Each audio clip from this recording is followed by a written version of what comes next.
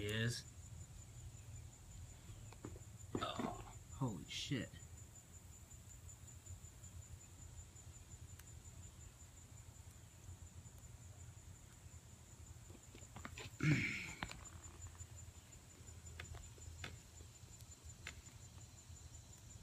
Dear God.